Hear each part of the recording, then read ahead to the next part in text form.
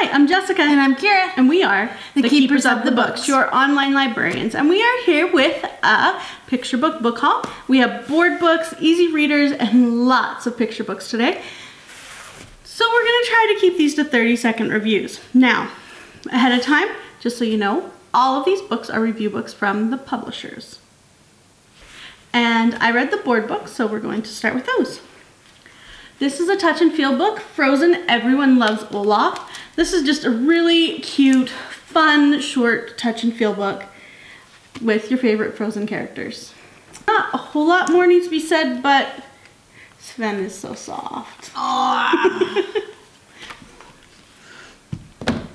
okay, Disney First Colors, Shapes, and Numbers. Again, these are review books from Disney Press, the last one and this one. This has to be the cutest board book that covers, that I've ever seen. Covering your first colors, shapes, and numbers. So, just because it has this adorable Disney characters that you love. And what I really like is they threw in from Wreck-It Ralph. Penelope von Schweetz. Yes, Penelope. So I thought that was really fun that they added her in with the classic characters. It's a Small World Shapes. This is a really short board book covering some shapes, but not only is it set in It's a Small World with your Small World characters, it has some shapes that aren't necessarily the ones you generally see, even though it's so short. Like a crescent, so anyways, that was just kind of fun. And I liked that it was a little different than usual. Okay, this one is absolutely adorable. One Grumpy Bruce. This is Ryan T. Higgins. I love Very short, easy, and it only goes to 10. I'm not going to tell you what you have to count, but of course, there are 10 things you have to count. And they're from the Grumpy Bruce world. Such an adorable little board book. Mm -hmm. Jungle Cruise Animals. So this one, you, the pictures are just so pretty. And it's set in the jungle world. I'm just going to show you this page again just because it's such a pretty butterfly. So there are things you have to find on the page. They're not that hard to find because it's a board book. it's not Waldo. Olaf's Frozen Adventure. This is a light up book. And when you open it, you can open it to a page. Up. That's the scary page. Anyways, I don't know if you can see the lights flashing, but every page has lights that flash, and I thought that was kind of fun. I don't think I've seen a board book that does that. I did have to pull the little tab out of the battery on the back, so just be aware. This was just a real cute, some things in Olaf's world that have lights in them and sharing those. Okay, Feminist Baby Finds Her Voice. A board book for Feminist Baby. And this one goes over some characteristics that a good baby would have. Sharing and making sure everyone gets toys, stuff like that. Star Wars, a storybook collection. This covers from Phantom Menace all the way through to the newest movies. And has a lot of stories. It has a lot of stories, but for the fans who like specific books related to certain movies, it also tells you which stories go with which movie. Nice. So you'll notice that they're very detailed, colorful, vivid pictures, and the stories are fun and they're perfect for bedtime. The first couple are in Spanish, Puedo jugar yo también. This is by Mo Willems. This one is Can I Play Too? And so Gerald and Piggie have made a new friend, and it's this snake, and they want to play ball together, but snakes don't have arms. So what will they do, and how will everybody be included? I don't think I've read this one or our next one in English. As with all of them, these are all review books from the Disney Book Group. And I have, of course, read them all in English, and they are super cute. This one's from Hyperion. This one won the Theodore Seuss Geisel Award. We use the Spanish ones to teach tenses and to learn new things in class, too. ¿Estás lista para jugar afuera? Are you ready to go outside and play? Elephant and Piggie want to go out inside and play, but what are they going to do because it is quite the rainstorm? How are they going to have fun? These are both just really cute, fun books, and I laughed pretty hard at the end. Our next Hyperion Mo Willems review book, I Lost My Tooth. This one is Unlimited Squirrels. I believe this is their first Unlimited Squirrels book. Yes. So they have at the bottom corner, you can't necessarily see it, but there's these little icons down here, and they have Acorn emojis. yeah acorn emojis to tell you how the characters are feeling. So you go through a big event about losing the tooth, but he lost didn't just lose his tooth, he lost his tooth, and so they're having some emotions and they're a little confused mm-hmm. about that. But what I like at the end of the story is he throws in a research question. So you have to research that with him and then he helps you, gives you some answers to mm, see, you know, you can see if your research matched up.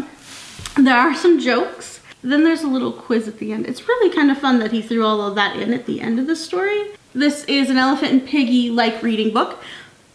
And this is by LeUyen Pham the itchy book. These dinosaurs have a problem. They are all itchy, but they found a sign and dinosaurs do not scratch. So don't read this book when you're itchy.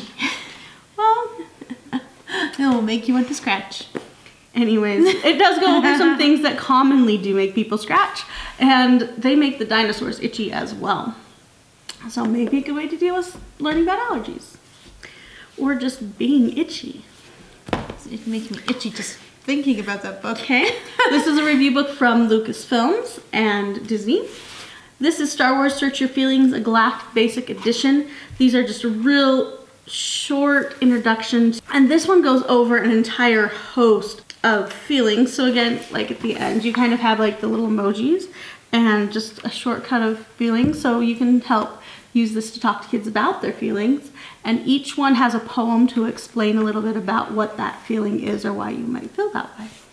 Or why these characters felt that way. Hope by Matthew Cordell. This, I love the illustrations in this one. And this is a book that really I think is meant to be read between a grandparent and a grandchild. So if you're FaceTiming, maybe send a copy to the grandchild and read it over FaceTime with them. You can have a copy mm-hmm. too. There is another book special. that this author wrote called Dream, I believe. Mm-hmm. And I really like the pictures, even though they're just these simple watercolor sketches. They were really cute. I loved Part Time Princess. Part-Time Mermaid Girl by Day Mermaid by Night by Deborah Underwood and illustrated by Cambria Evans.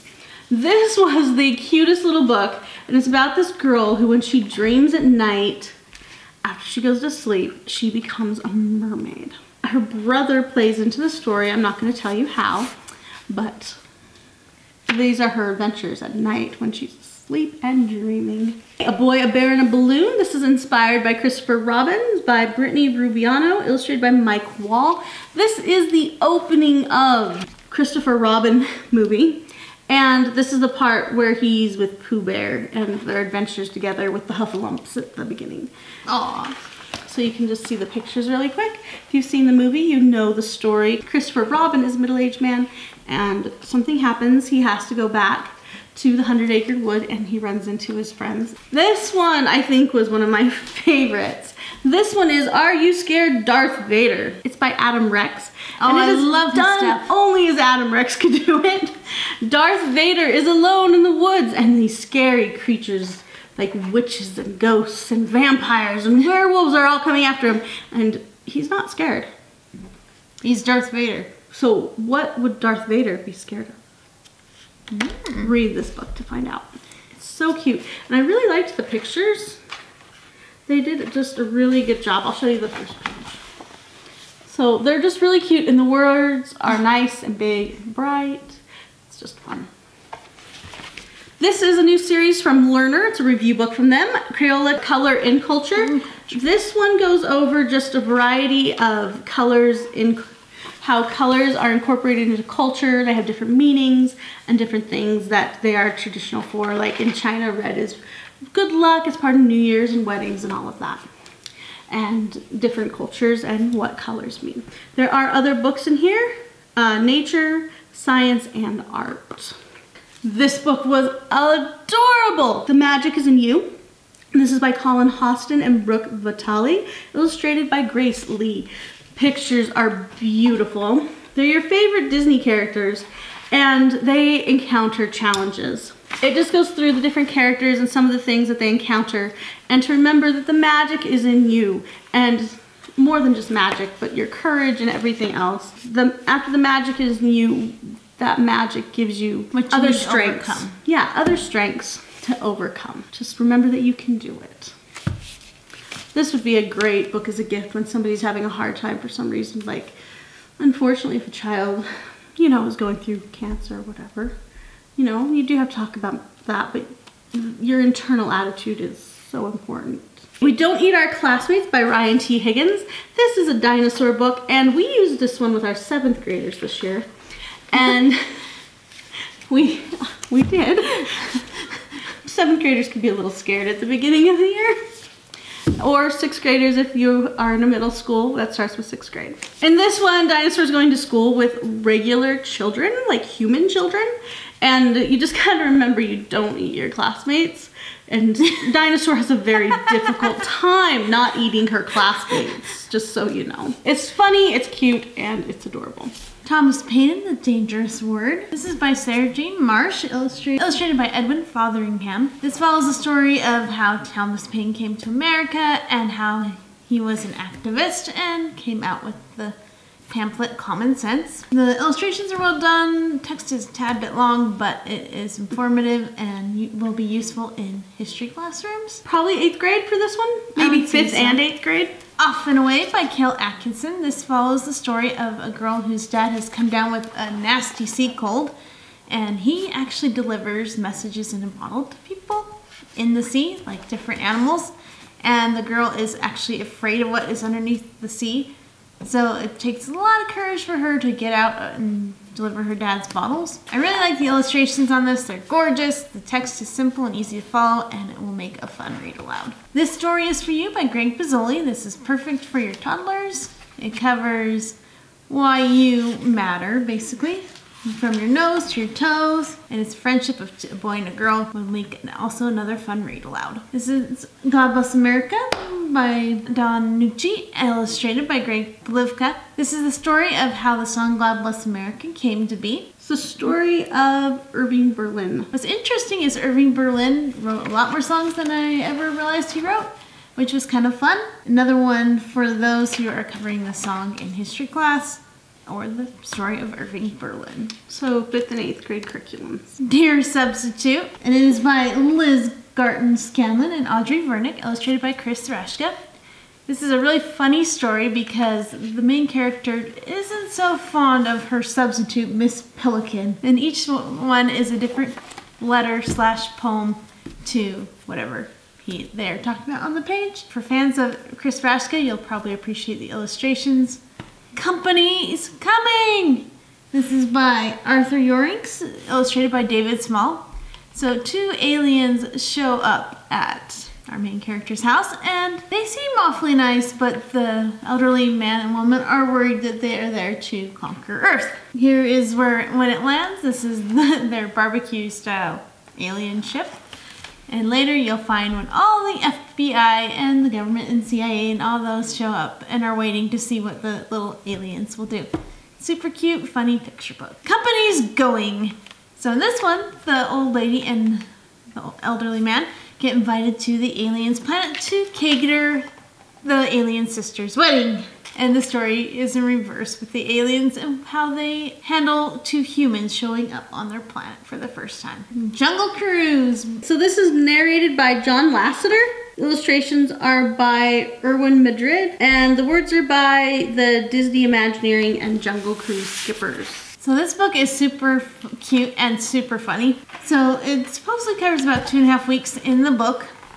Of course, watch out for the tigers. They can jump 15 feet and you're only 15 feet away from them. And the rhinoceroses who have very pointy horns. Silly, funny, will make you laugh, and it has a great narration. It has a CD in it, and it's done by I, John Lasseter. Drawn together by Minh Lê and illustrated by Dan Santat. Is it a wordless picture book? It is hybrid. It is part wordless and has a few words on it throughout the book, but it follows the story of a grandpa and his young boy who can't quite see eye to eye, so they decide to create their own world together. I like this book because it intermixes the kids' illustration way of illustrating and the grandpa's way of illustrating and kind of makes this fun mix of different art styles to show you how the art is drawn together. For fans of art or who just like a cute picture book, this is a perfect book for you. Poe Won't Go by Kelly DiPuccio, illustrated by Zachary O'Hora. This follows the story of Poe the elephant. He is stuck in traffic sitting on something and he won't go and nobody can figure out why. Why is this elephant sitting in the middle of traffic? You have to read to find out, but the answer will surprise you. This is Vampirina in the Snow, written by Anne-Marie Pace, illustrated by LeUyen Pham. So Vampirina is going to tell you how to best enjoy a snowfall after the snow is on the ground. From sledding to making snow angels, she is going to show her monster family how to properly enjoy snow. Perfect for fans of Vampirina, cute illustrations, fun story. The Cat in the Hat or El Gato Ensombrerado by Dr. Seuss. This is a bilingual version of The Cat in the Hat. Y'all know the story. Ser como el bambú. This follows the story of a little panda who wants or to be like be like the bamboo or be like the bamboo by Ismael Cala. This follows the story of a little panda who wants to be like the bamboo, flexible, tall, strong, and high in the sky. And it is written in both English and Spanish on each page.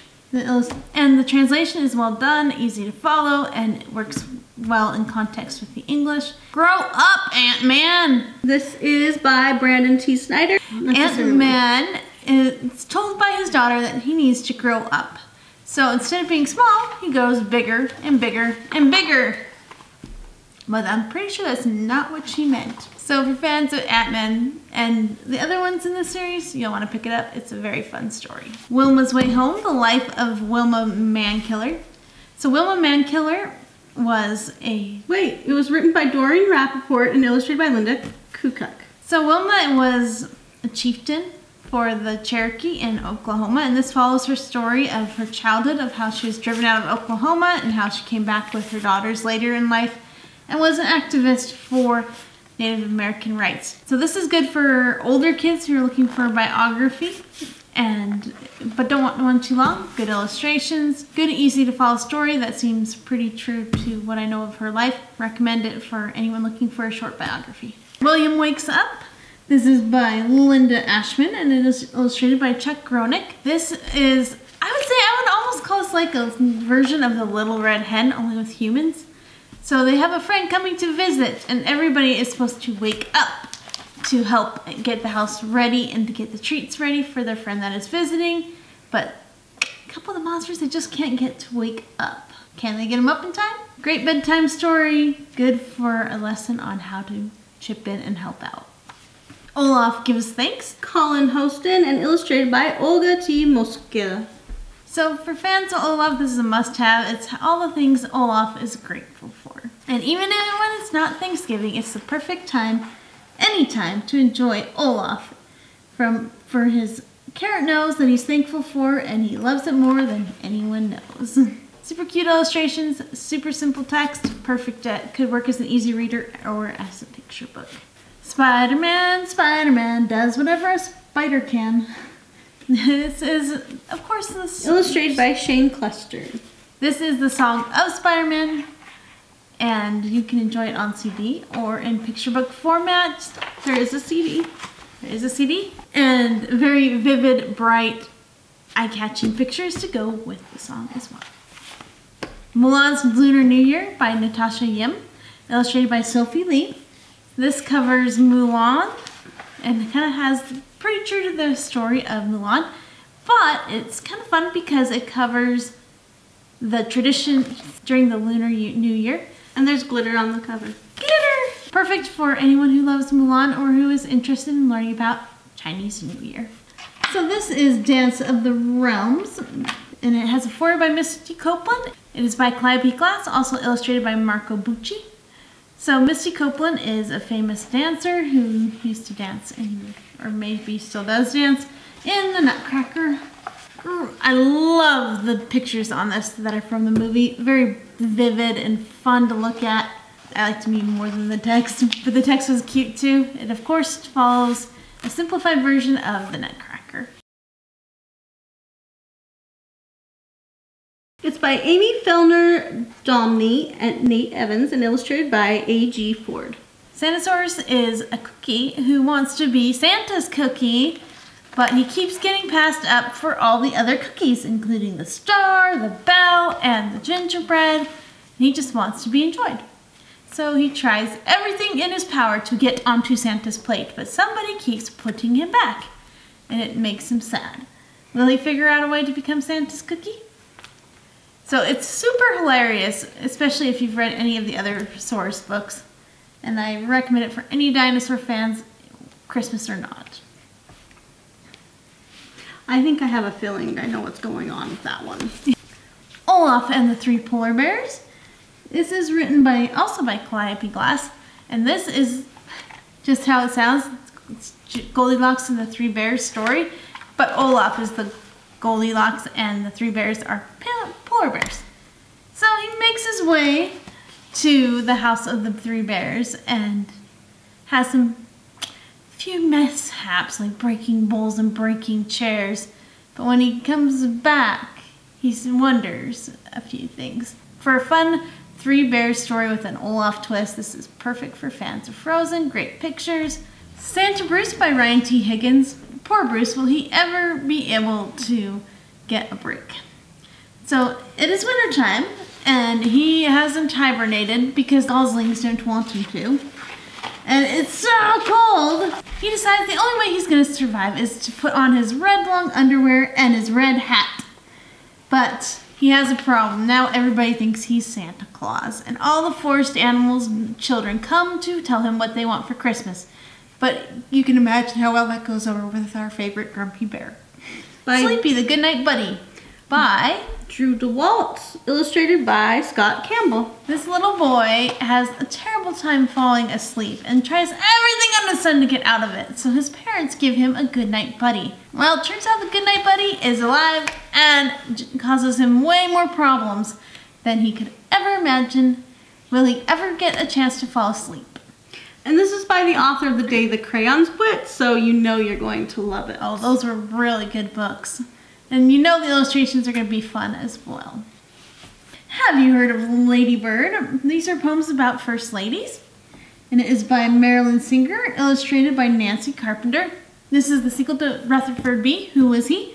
And each one is a poem about all the first ladies and what they did as when their husbands were the president. And it's perfect for introducing the different people throughout history that made a difference depending on what age group you want to cover it, you can go anywhere from fifth all the way up through junior high.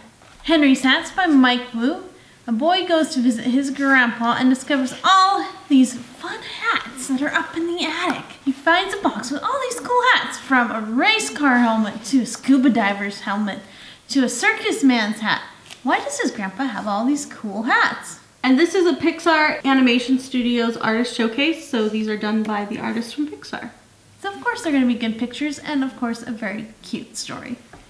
It's time to give Kira a break. I have our easy readers. Our first one is Five Tales of Fun, World of Reading, Level 1 books, five Level 1 readers, simple text, word repetition. And this one covers five I think we've reviewed in the past.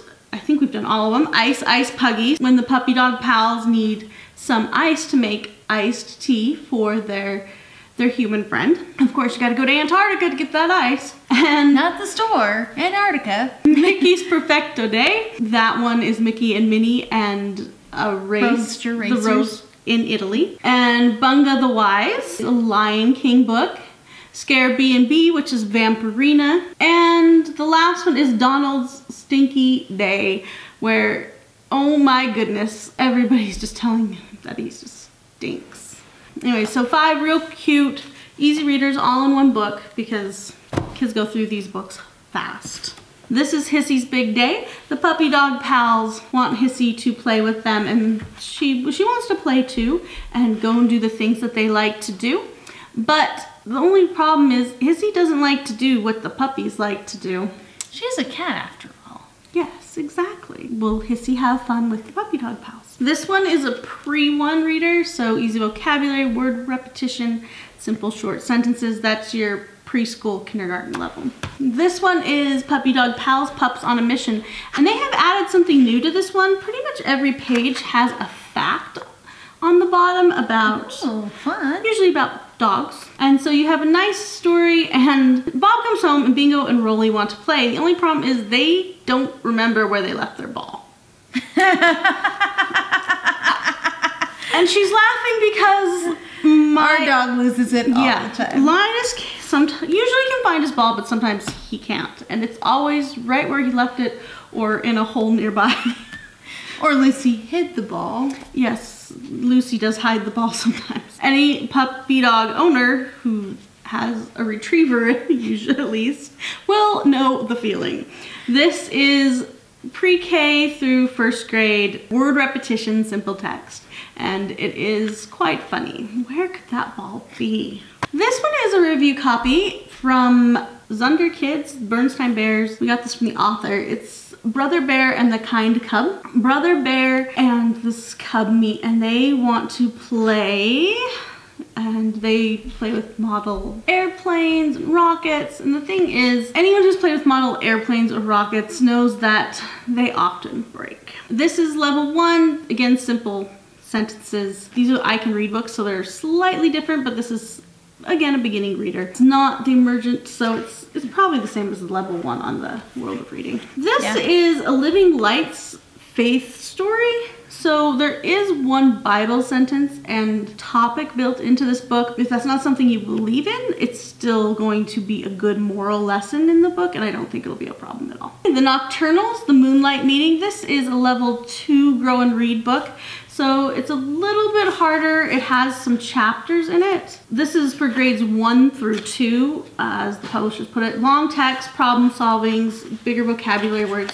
The Nocturnals are just really cute characters and they find and meet new people and characters in the woods. There's usually a problem they have to solve and that they encounter and deal with. They're just kind of fun, cute characters overall. This is the second Nocturnals book I've read. And this is a review book from the author. Vampirina in the Fall. This is a level one Vampirina story. This goes through just all the fun, exciting things throughout the fall, all the way to the end of fall. And of course, fall is a perfect time for vampires. And there are lots of Vampirina type things in here for the monsters to do. Mm-hmm. And it, I don't think it matters if it's fall or not because this book just fits perfect with Vampirina. Disney Princess The Friendship Bridge. These are from a girl's imagination. Here is why I love these. This is level two, simple storylines, contractions, compound sentences, kindergarten through grade two, depending on reading. You have the Lego minifigure princesses. And there is this cute little puppy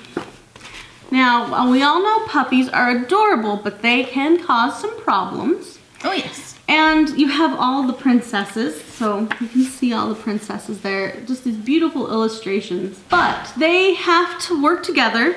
What I like about these ones is they always have a problem to solve. And that is such a good thing. So it fits also with the whole maker thing because they always make something to help them solve the problems. Mm. So I love that one. And this one is Lost and Found. Something has been lost. Again, the puppy is in this book as well. They have to try to find, well, the puppy makes a mess. He's muddy. Something is lost. Jasmine's lost it, something very important. And the girls need to find it. Of course, they have to solve a problem. They always make something.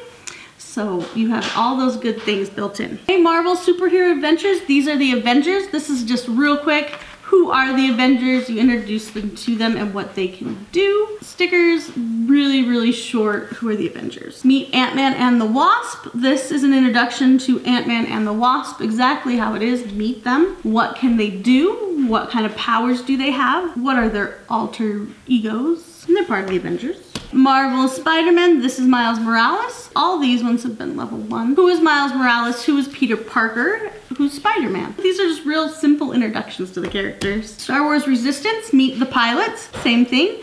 who are the pilots and the spies in the Star Wars Resistance. So you get to know some of just the basic character introductions. First introduction to Star Wars, this is a level two reader. This one's also level two. This is Solo, a Star Wars story, Meet the Crew. Who are the crew for Han Solo? Just again, who are the characters? And a, this one includes a basic adventure, one that repeats that's in Solo. Chewie and the Courageous Kid. This one includes a little girl, a Wookiee, and Zaro. So Chewbacca and Zaro. And the pictures are pretty cool on this one. The ship breaks down and it needs fixed, and Chewie runs into and meets Zaro. One is Train Heist. It's a solo Star Wars story you know, if you've seen the movies, you know these basic plot lines, but these are for kids, an introduction so that they'll be ready for more later. Who were Beckett, Val, Rio. This one is a read-along storybook with a CD. This is a very abbreviated, shortened version of Ralph Breaks the Internet. It's a summary of the movie and adorable pictures from the movie. The characters on the CD are the actors. So your voice, you have Phil Johnston's the narrator, and then you have John C. Reilly, Sarah Silverman, Gal Gadot, and Taraji P. Henson. I like these because they usually have sound effects too. They do. DuckTales, this one has two stories, Living Mummies, the Huey, Dewey, and Louie, and the cousins. Webby. Webby. The cousins are taken back to the tomb of a pharaoh. There's a treasure and everyone knows that when you are inside of the Pharaoh's chamber, that you don't touch the forbidden objects. This is not a new plot line. No. but with these little ducklings on the adventure, chaos it's will ensue. And a new plot line will ensue. Tunnel of Terror. Flip the book over. An abandoned sun subway tunnel with warnings. Somebody does not want them there. There's scary noises and something is happening and they are in trouble as usual. Too bad and good luck. They don't know how to stay out of trouble. Nope. Hip and Hop in the House, a free-flowing tortoise in the hare collection by Jeff Czekaj. I don't I'm not good with some of these names. You throw Z's in there and I get confused. Anyways, if somebody knows how to say this, can you please put that in the comments below so that we can learn how to say this? This is about hip and hop. One's a bunny, one's a turtle. One raps really fast and one raps really slow. And I'm sure you can guess who's. And they're from some places that don't necessarily always interact. And they come up to old school country first animal rap off. So they need to find out who's the best rapper. They saw each other, they don't know what to do, they're kind of friends, or they will be, and they have an idea. What can they do together? So Hip and Hop decide to rap together, and everyone is a little surprised because they don't know what's gonna happen or how those two are gonna make it work together. There are a lot of books. yeah, some short reviews for a lot of books from storybook collections to board books picture books, and easy readers. We hope we went fast enough, but if not, you can go to the right section, see, review the books you want. Please put your favorites in the comments below, and until next time, happy reading. Bye. Bye.